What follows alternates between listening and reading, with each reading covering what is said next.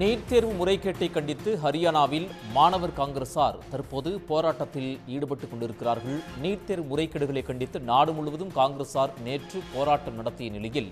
இன்றும் அந்த போராட்டம் என்பது தொடர்ந்து கொண்டிருக்கிறது நீட் தேர்வு முறைகேடுகளுக்கு பொறுப்பேற்று ஒன்றிய கல்வி அமைச்சர் தர்மேந்திர பிரதான் பதவி விலக வேண்டும் என்பதை வலியுறுத்தி அவர்கள் முழக்கம் எழுப்பி வருகிறார்கள் தற்பொழுது போராட்டத்தில் ஈடுபட்டவர்களை போலீசார் குண்டுக்கட்டாக கைது செய்யக்கூடிய அந்த காட்சிகளை நாம் பார்க்கலாம்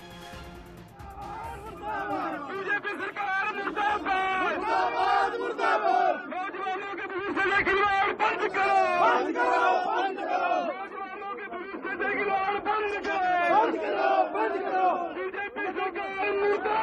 मुर्दाबाद मुर्दाबाद मुर्दाबाद भविष्य से खिलवाड़